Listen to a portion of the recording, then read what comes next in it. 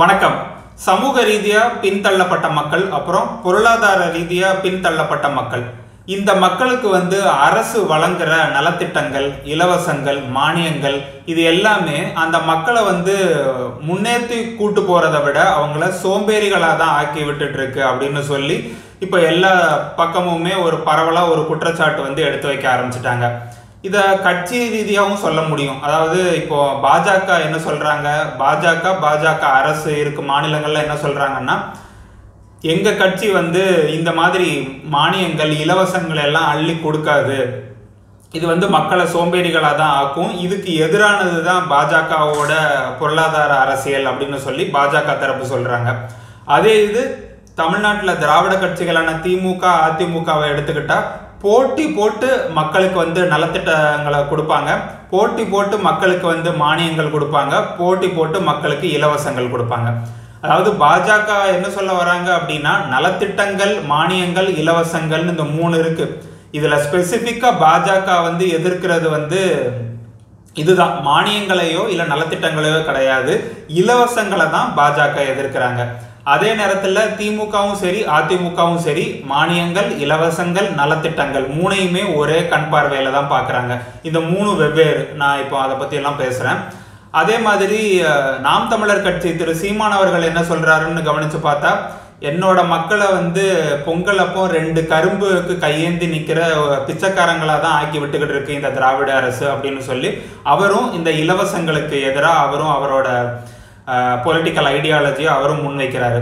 இன்னைக்கு நம்ம பார்க்க போறது நலத்திட்டங்கள் இலவசங்கள் மானியங்கள். இது வந்து உண்மையிலே மக்களுக்கு வந்து பயன்படுதா? சமூக ரீதியாகவும் பொருளாதார ரீதியாகவும் பின்தள்ளி பின்தள்ளப்பட்ட மக்களுக்கு இது பயன்படுதா? இல்ல இவங்க எல்லாருமே சொல்ற மாதிரி இந்த மக்களை இது சோம்பேறிகளா ஆக்குதா அப்படிங்கிறத பத்தி தான் கொஞ்சம் ப்ரீஃபாக பார்க்க போறோம்.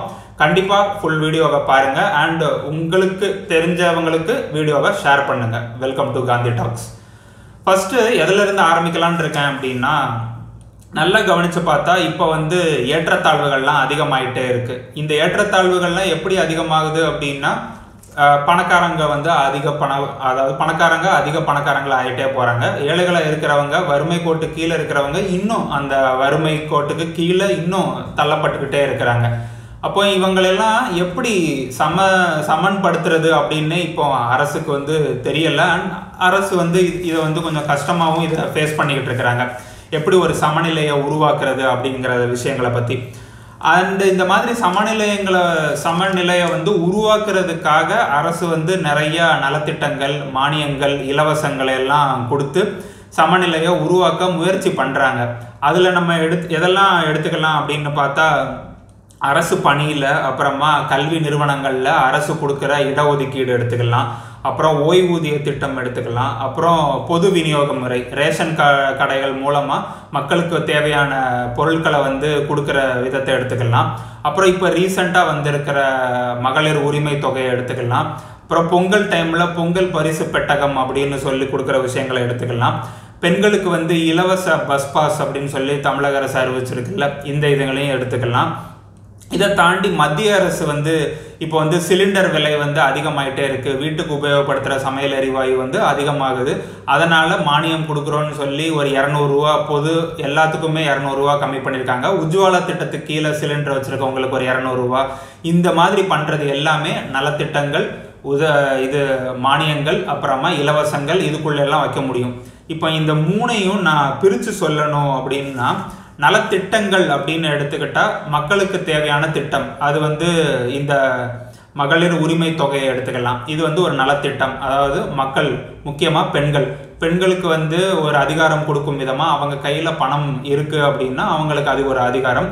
அதனால் அரசு வந்து செலக்ட் பண்ண செலக்ட் பண்ணி யார் யாருக்கெல்லாம் இது தேவை சமூக அடிப்படையில் பின்தங்கப்பட்டவங்க பொருளாதார ரீதியாகவும் பின்தங்கப்பட்டவங்கன்னு கணக்கெடுத்து அந்த பெண்களுக்கு வந்து மாதம் ஆயிரம் ரூபாய் அப்படின்னு கொடுக்கறது. இது நலத்திட்டம் இலவசம் அப்படின்னு நம்ம எடுக்கிறோம் அப்படின்னா அதிமுக அரசும் சரி திமுக அரசும் சரி வந்த டைமில் ஃப்ரீயாக கிரைண்டர் கொடுத்தது அப்புறமா டிவி கொடுத்தது இந்த மாதிரி மிக்ஸி கொடுத்தது இது எல்லாமே இலவசங்கள் இலவச பொருட்கள் அப்படின்னு கூட நீங்கள் வச்சுக்கலாம். அதுக்கடுத்து மானியம் அப்படின்னு எடுத்துக்கிட்டால் இப்போ சிலிண்டருக்கு கொடுக்குறாங்கல்ல இரநூறுவா சிலிண்டருக்கு மானியம் மானியம். அதுக்கப்புறம் உஜ்வாலா திட்டத்துக்கு கீழே சிலிண்டர் வாங்குறவங்களுக்கு நானூறுரூபா மானியம் அப்படின்னு வருதில்ல. இதெல்லாம் நீங்கள் மானியங்கள் அப்படின்னு எடுத்துக்கலாம். இதில் அவ்வளோ கிளியர் கட்டாக ஒவ்வொரு இதுக்குள்ளே வைக்க முடியாது. ஈவன் இப்போ நான் இலவசங்கள்னு சொன்ன மிக்சியும் கிரைண்டரும் கூட நலத்திட்டம்னு கூட சொல்லலாம். ஏன் சொல்கிறேன் அப்படின்னா இது இலவசங்கள்னு பார்க்க முடியாது.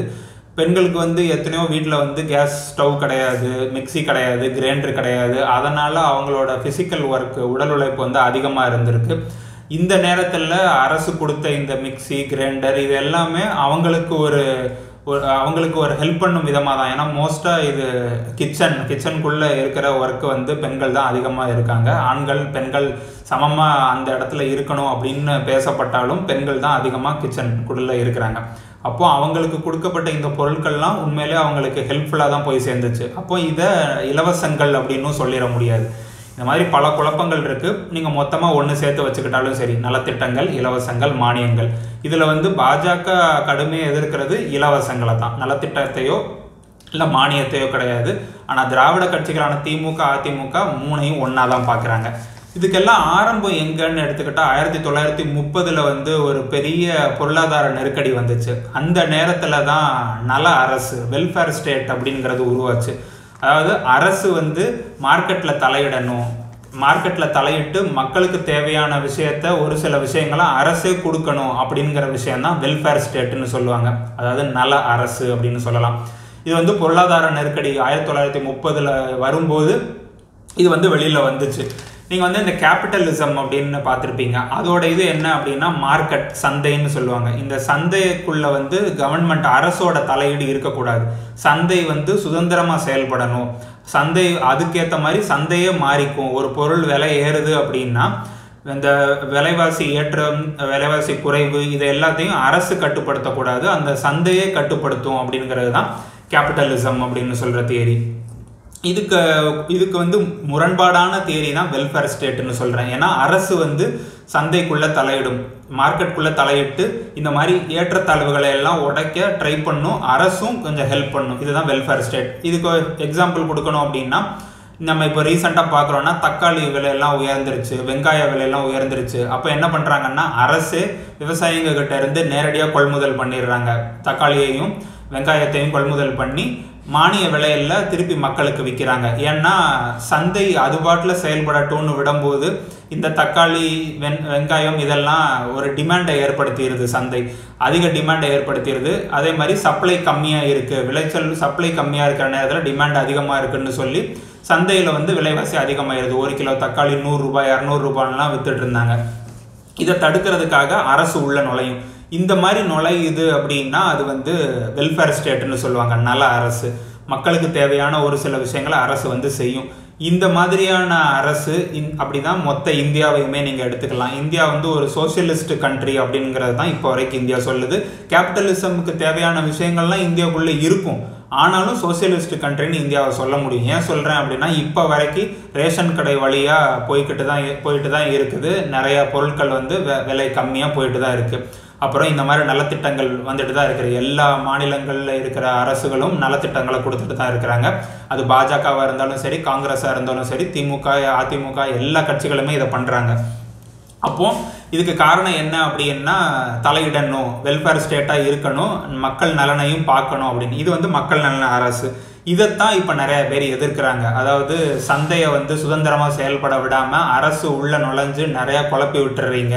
மானியம் இலவசங்கள் நலத்திட்டங்கள்னு சொல்லி மக்களை எல்லாம் சோம்பேறிகளாக ஆக்கிட்டு இருக்கீங்க அப்படின்னு சொல்லி ஒரு குற்றச்சாட்டு வைக்க ஆரம்பிக்கிறாங்க. இப்போ இந்த இதில் வந்து என்ன விஷயங்களை சொல்கிறாங்க அப்படின்னா எப்படி பார்க்குறாங்கன்னா வறுமை கோட்டுக்கு கீழே இருக்கிறவங்களெல்லாம் மக்கள் இந்த மாதிரியான விஷயங்களெல்லாம் கொடுத்து அவங்களெல்லாம் வேலை வாய்ப்புக்கு வர்றதுக்கே வரவிடாமல் பண்ணிடுறாங்க அப்படிங்கிற மாதிரி ஒரு குற்றச்சாட்டை வைக்கிறாங்க.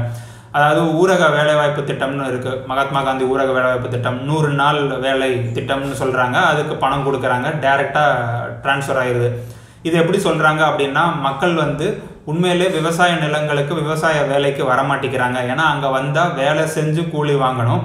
அதே நேரத்தில் நூறு நாள் வேலை திட்டத்துக்கு போனால் அங்கே நிறையா வேலை கிடையாது. நிறைய பேர் அங்கே சும்மா இருந்தே சம்பளம் வாங்க முடியுது. அதனால் மக்கள் அந்த பக்கம் போயிடுறாங்க. இந்த பக்கம் விவசாய நிலங்களில் விவசாய கூலிகளாக வேலை பார்க்குறதுக்கு மக்கள் இல்லாத நிலைமை ஏற்படுது. இதெல்லாம் லோ ஸ்கில்டு ஜாப்னு சொல்லுவாங்க. அதிக படிப்பு இதெல்லாம் தேவையில்லாமல் உடல் உழைப்பை வச்சு பார்க்கக்கூடிய வேலைகளுக்கு மக்கள் வரமாட்டேங்கிறாங்க. ம அரசு கொடுக்குற நலத்திட்டங்கள் இலவசங்கள் மானியங்களை எல்லாம் பயன்படுத்திக்கிட்டு அதை வச்சு இருக்கிறது போதும்னு சொல்லி இருந்துக்கிறாங்க அப்படிங்கிறது தான் இந்த குற்றச்சாட்டு. ஆனால் அரசு யாருக்கு இதை கொடுக்குறாங்க அப்படின்னு பார்த்தா பொருளாதார பொருளாதார ரீதியில் வந்து பின்தள்ளப்பட்டவங்க சமூக ரீதியாகவும் பின்தள்ளப்பட்டவங்களுக்கு தான் அரசு இதை கொடுக்குறாங்க. எல்லாத்துக்கும் கொடுக்க விரும்பலை. இப்போ எனக்கு வந்து அரசு வந்து எல்லாத்தையும் கொடுக்கணும் அப்படின்னு நானும் எதிர்பார்க்க முடியாது எதிர்பார்க்க கூடாது. அரசும் எனக்கு வந்து கொடுக்கக்கூடாது ஏன்னா எப்படி பார்க்குறாங்க அப்படின்னா சமூக ரீதியாக நான் வந்து பின்தள்ளப்பட்டவனான அரசு பார்க்குறாங்க. அப்புறம் பொருளாதார ரீதியாகவும் நான் பின்தள்ளப்பட்டவனான அரசு பார்க்குறாங்க. இந்த ரெண்டுலேயுமே நான் இல்லை அப்படின்னு அரசு பார்க்கும்போது எனக்கு நலத்திட்டத்தையோ இல்லை இலவசங்களையோ இல்லைன்னா மானியங்களையோ அரசு கொடுக்கறதுக்கு முன் வர்றதில்லை. யாருக்கு தேவையோ அவங்களுக்கு தான் கொடுக்குறாங்க. இதை தான் அரசு வைக்கிறது. இதன் மூலமாக ஒரு சமநிலையை அரசு கொண்டு வர்றதுக்கு ட்ரை பண்ணுறாங்க அப்படிங்கிற விஷயத்த தான் சொல்லுவேன். அப்புறம் என்ன ஒரு விஷயம்னா நலத்திட்டங்களை வந்து எப்படி நலத்திட்டத்தை எதிர்க்கிறாங்க அப்படின்னா இவங்க எல்லாத்துக்குமே சம வாய்ப்பு கிடைக்க ஆரம்பிச்சிருச்சு. இடஒதுக்கீடை பயன்படுத்திக்கிட்டு எல்லாருமே முன்னேறி வரத்தான் செஞ்சுருக்காங்க. ஆனாலும் இன்னமும் நம்ம இடஒதுக்கீடு கொடுத்துக்கிட்டே இருக்கோம்னு சொல்கிறாங்க அப்புறம் நிறையா நலத்திட்டங்களை பயன்படுத்தி இவங்களோட ஃபேமிலி அடுத்த கட்டத்துக்கு முன்னேறி வந்துட்டாங்க. இதுக்கப்புறம் அவங்க உண்மையிலே உழைச்சி சந்தை எப்படி இருக்கோ மார்க்கெட்டு நிலவரத்தை புரிஞ்சுக்கிட்டு அதுக்கேற்ற மாதிரி அவங்களோட உழைப்பை வச்சு சம்பாதிக்கிறத விட்டுட்டு திருப்பியும் அரசோட நலத்திட்டங்களை கையேந்திய மக்கள் இருக்கிறாங்க. அப்படிங்கிற விஷயத்தை தான் வச்சுட்டு இருக்கிறாங்க. இதே மாதிரி அரசு வந்து வருமானத்தை பங்கீடு பண்ணணும் அப்படிங்கிறதுக்காகத்தான் ஒரு மினிமம் வேஜ்னு சொல்கிறாங்க குறைந்தபட்ச ஊதியம்னு ஒன்று இருக்கணும்னு நிர்ணயிக்கிறாங்க அரசு. இந்தந்த மாதிரியான வேலைகளுக்கு இதுதான் குறைந்தபட்ச சேலரி அப்படின்னு. அதை கூட எதிர்க்கிறாங்க. அதை எப்படி சொல்கிறாங்க அப்படின்னா ஒரு சில வேலைகளுக்கு குறைந்தபட்ச ஊதியம்னு சொல்லி வைக்கிறது மூலமாக அந்த வேலைகளுக்கு வந்து முதலாளிகளால் எல்லாத்தையும் பயன்படுத்தி சம்பளம் கொடுக்க முடியல. அந்த வேலைக்கு அவ்வளோ சம்பளம் வந்து தேவையே இல்லை. ஆனால் அரசு போட்ட உந்துதலால் முதலாளிகள்லாம் அந்த சம்பளத்தை கொடுக்க வேண்டியதாக இருக்குது அதனால் நூறு வேலை கொடுக்க வேண்டிய இடத்துல ஐம்பதோ அறுபது வேலைகளை தான் கொடுக்குறாங்க. மிச்சம் நாற்பது வேலை கொடுக்காம விட்டுறாங்க. அதனால் வேலையின்மை பெருகுது. யாருக்கு அப்படின்னா லோ ஸ்கில்டு லேபர்ஸுக்கு அதிக படிப்பு இல்லாமல் உடல் உழைப்பை வச்சு வே பார்க்கக்கூடிய வேலைகளை வந்து அரசு உள்ளே வந்து இந்த மாதிரி குறைந்தபட்ச ஊதியம் கொடுக்கணும் அப்படின்னு சொல்லி இதையும் உடச்சி விட்டுறாங்க. அப்படின்னு ஒரு கூற்றை வந்து வைக்கிறாங்க இதை எதிர்க்கிறவங்க. இதெல்லாம் தாண்டி எப்படி பண்ணுறாங்க அப்படின்னா இப்போ கிராமப்புறங்கள்லேருந்து நகரத்தை நோக்கி புலம்பெயர்ந்து வராங்க. ஏன்னா கிராமப்புறத்தில் வறுமை அதிகமாகுது. அங்கே தேவையான விஷயங்கள்லாம் இல்லைன்னு சொல்லி தான் வராங்க. ஆனால் நகர்ப்புறத்துலேயும் வந்து வறுமை கோட்டு கீழே தான் இருக்கிறாங்க. அதாவது கிராமத்தில் வந்த பணத்தை வச்சுக்கிட்டு அந்த ஊருக்குள்ளேயே வாழ்க்கை நடத்த முடியலை. இன்னும் அதிக பணம் தேவை அப்படின்ட்டு தான் கிராமங்களில் இருந்து நிறைய மக்கள் வந்து அடித்தட்டு மக்கள் வந்து நகரத்தை நோக்கி வராங்க ஆனால் சிட்டிஸுக்கு வந்ததுக்கு அப்புறமா இங்கே சிட்டிஸில் இப்போ சென்னையவே எடுத்துக்கலாம். சென்னைக்கு தேவையான அளவுக்கு வருமானத்தையோ இல்லை சம்பளத்தையும் அவங்களால சம்பாதிக்க முடியலை. சென்னையில் வாழ்கிறதுக்கு தேவையான அளவுக்கு. அப்போ சென்னைக்கு சிட்டிக்கு கிராமங்கள்லேருந்து புலம்பெயர்ந்து வந்தும் இங்கே நகர்ப்புற ஏழைகளாக மாறிக்கிட்டு இருக்காங்க. இப்போ இது இந்தியா ஃபுல்லாக நடந்துக்கிட்டு இருக்கு. கிராமப்புறத்திலிருந்து ஏழைகள் படையெடுத்து நகரத்துக்கு வந்து நகரத்தில் ஒரு ஏழைகளாக மாறி நகர்ப்புற ஏழைகள் அப்படின்னு சொல்லி ஒரு புது சமுதாயமே உருவாகிற அளவுக்கு போய்கிட்டு இருக்கு அப்படிங்கிற விஷயம்தான். இதுக்கு காரணம் என்னன்னா கிராமமும் நகரத்துக்கும் இடையில உள்ள டிஃப்ரென்ஸ் கிராமங்கள்லேயே இருந்து கிராமங்கள்லேயே சம்பாதிச்சு கிராமங்கள்லேயே முன்னேறதுக்கான வசதிகள் எல்லாம் குறையுது அப்படிங்கிறனால தான் நகரத்துக்கு வராங்க. அதை சரி பண்ணாதனால இந்த விஷயம் நடந்துகிட்டு இருக்குது. அப்போ இதை சமன்படுத்துறதுக்கு தான் இந்த மாதிரி ஊரக வேலைவாய்ப்பு அப்படி இப்படின்னு கவர்மெண்ட் மானியங்கள் எல்லாம் கொடுக்குறாங்க. ஃபெர்டிலைசர் அதாவது உரங்களுக்கு மானியம் அதை வச்சுட்டு விவசாயத்தை பண்ணுங்க. பயிர் வந்து லாஸ் ஆயிடுச்சு பயிர் வந்து சேதமாயிருச்சு அப்படின்னா பயிர் காப்பீட்டு திட்டம் மூலமாக அதை அதை வந்து வாங்கிக்கோங்க. அதுக்கடுத்து ஹார்டிகல்ச்சர் இந்த மாதிரி விவசாயம் பண்ணுறதுக்காக கவர்மெண்ட் வந்து இலவசமாக விதைகள் உரங்கள் இதெல்லாம் கொடுக்கறதுக்கு முன் வராங்க. அப்படிங்கிறது காரணம் என்னென்னா கிராமத்தை விட்டு மக்கள் வர வேண்டாம். கிராமத்துக்குள்ளே இருந்துக்கிட்டே என்ன பண்ண முடியுமோ அதை பண்ணட்டும் அப்படிங்கிறதுக்காக தான் அரசு இந்த விஷயங்கள் எல்லாம் பண்ணுறாங்க ஆனால் நகரத்துக்கு வந்து நகர்ப்புற ஏழைகளாக தான் மாறிக்கிட்டு இருக்காங்க இப்போ இதில் இன்னொரு விஷயங்களை என்ன பார்க்கலாம் அப்படின்னா கிராமத்தில் இருக்கிற உழைக்கும் வர்க்கம் வந்து உழைச்சி முடிச்சுட்டு அவங்க வந்து போதுமான அரசோட நலத்திட்டங்கள் மானியங்கள் இலவசங்கள் இதெல்லாம் பயன்படுத்திக்கிட்டு அவங்களுக்கு முடிஞ்ச உழைப்பையும் போட்டு சம்பாதிச்சு அந்த மிச்ச நேரத்தில் அவங்க எடுக்கிற ரெஸ்ட்டை தான் நம்ம சோம்பேறின்னு சொல்லிடுறோம். அதை வந்து சோம்பேறிகள்னு சொல்லிடுறோம் அவங்கள. அதே நேரத்தில் பணக்காரங்க வந்து உழைச்சி முடிச்சுட்டு அந்த அவங்க ரெஸ்ட் எடுக்கணும்னு நினைக்கிறதுக்காக இந்தியாவிலேருந்து வெளிநாட்டுக்கு ஒரு ட்ரிப்பு போய் வெக்கேஷன் ரெஸ்ட் எடுத்துகிட்டு வரலான்னு அவங்க போயிட்டு வர்றது எப்படி சொல்கிறோம் அப்படின்னா டூரிசமை பூஸ்ட் பண்ணுறதுக்கு அவங்க ஹெல்ப் பண்ணுறாங்கன்னு சொல்கிறோம் ஆனால் நம்ம கிராமப்புற மக்கள் வந்து ஓய்வெடுக்கிறத வந்து திண்ணையில் உட்காந்து தூங்குறதையோ இல்லை பல்லாங்குழி விளையாண்டுட்டு இருக்கிறதையோ நம்ம எப்படி காட்டுறோம் அப்படின்னா அவங்க சோம்பேறிகள் ஆகிட்டு இருக்காங்க. இதுக்கெல்லாம் காரணம் அரசு கொடுக்குற நலத்திட்டங்களும் அரசு கொடுக்குற மானியமும் அரசு கொடுக்குற இலவசங்களும் தான் அப்படின்னு சொல்லி ஒரு கூட்டம் சொல்ல ஆரம்பிச்சிட்டாங்க. அண்டு இடஒதுக்கீடு இது எல்லாத்தையுமே கேள்வி எழுப்ப ஆரம்பிச்சிட்டாங்க. ஆனால் இது நல்லா கவனித்து பார்த்தா யார் இந்த கேள்விகள் எல்லாம் எழுப்பிக்கிட்டு இருக்கான்னு பார்த்தா இடஒதுக்கீட்டை வந்து நேரடியாகவோ இல்லை பின்வழியாகவோ இடஒதுக்கீட்டை பயன்படுத்தி முன்னேறி அரசு கொடுக்குற சலுகைகள் அரசு கொடுக்குற திட்டங்களை எல்லாம் பயன்படுத்தி முன்னேறி ஒரு நிலைக்கு வந்ததுக்கப்புறம் அவங்க இப்போ திருப்பி என்ன சொல்கிறாங்க அப்படின்னா இந்த விஷயங்களெல்லாம் பயன்படுத்தி அடுத்த ஒரு கூட்டம் முன்னேறி வர ட்ரை பண்ணுறவங்கள கை காட்டி இவங்கெல்லாம் சோம்பேறிகளாகிக்கிட்டு இருக்காங்க. நாங்கள் உழைச்சி முன்னேறி வந்த இது வேற இடஒதுக்கீடு இதெல்லாம் பயன்படுத்தி முன்னேறி வந்த நீங்கள் வேற அப்படின்னு சொல்லி ஒரு பிரிவினையை காட்டுறாங்க. அதுக்கப்புறம் என்ன சொல்கிறாங்க இதுக்கு இது இது வரைக்கும் அரசு செஞ்சதெல்லாம் போதும் இனிமேல் நிறுத்திக்கலாம் அப்படிங்கிறாங்க. ஆனால் அவங்க நிறுத்திக்கலாம்னு சொல்கிறது அரசு அவங்களுக்கு செஞ்சது போதும் அதை நிறுத்திக்கோங்கன்னு சொல்லலை.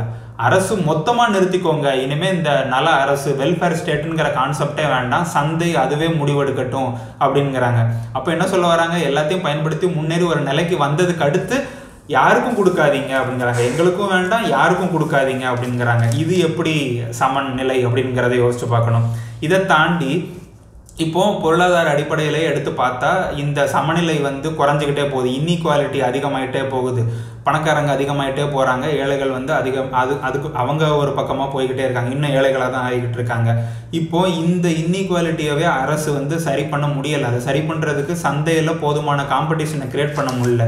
இப்போது ஃப்ளிப்கார்ட்டு அமேசான் அப்படிங்கிறது வரும்போது ஃப்ளிப்கார்ட் இந்தியாவோட சந்தை இந்தியாவோட ஒரு அமைப்பாக இருந்துச்சு. அதே நேரம் அமேசான் உள்ளே வரும்போது ஃப்ளிப்கார்ட்டை ஒடுக்கி அமேசான் இப்போ இந்தியாவில் ஒரு பெரிய சந்தையாக உருவெடுத்துட்டாங்க. இதே மாதிரி ஃப்ளிப்கார்ட் இந்தியா இந்தியர்களால் உருவாக்கப்பட்ட ஒரு விஷயமா இருந்துச்சு. ஆனால் அது உருவெடுக்கும் போது சிறு குறு தொழிலாளர்களை பூரா அவங்க நசுக்குனாங்க. அப்போது இந்த காம்படிஷன் வந்து ஒரு ஃபேராகவே இல்லை. சமநிலையாக இல்லை. ஒருத்தர் ஒருத்தரை அழுத்திட்டு ஒருத்தர் ஒருத்தர் முன்னேறுறாங்க. இதை சரி பண்ணுறதுக்கு அரசு எவ்வளோ முயற்சி எடுக்குது. ஆனால் அது முடியலை. அது அதுக்காகத்தான் இந்த நலத்திட்டங்களை எல்லாம் இதன் மூலமாகவாச்சும் எதையாச்சும் சரி பண்ண முடியும்னு நினச்சி பண்ணுறாங்க ஆனால் அது நிறைய பேருக்கு ப்ராப்பரான விஷயமா போய் சேர்றதில்லை.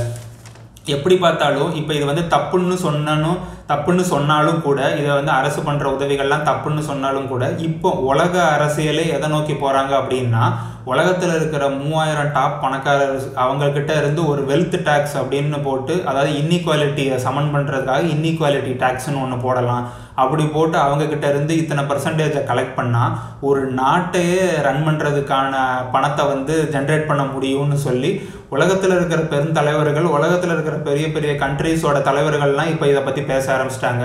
இதுக்கு மொத்த உலகத்துலேயும் மூவாயிரம் பேர் மூவாயிரம் பணக்காரங்க கிட்ட இருந்து இன்இக்வாலிட்டி டேக்ஸ் போட்டாலே போதுங்கிறாங்க அப்போ இவ்வளோ பணம் ஒரே இடத்துல குமிஞ்சு கிடக்கும்போது அரசே இதை சமன்படுத்துறதுக்கு ஒரு வழி இல்லாமல் இதை தேடி தான் போகிறாங்க அப்போது நலத்திட்டங்களும் இலவசங்களும் மானியங்களும் எந்த விதத்தில் தப்புன்னு நம்ம சொல்ல முடியும்.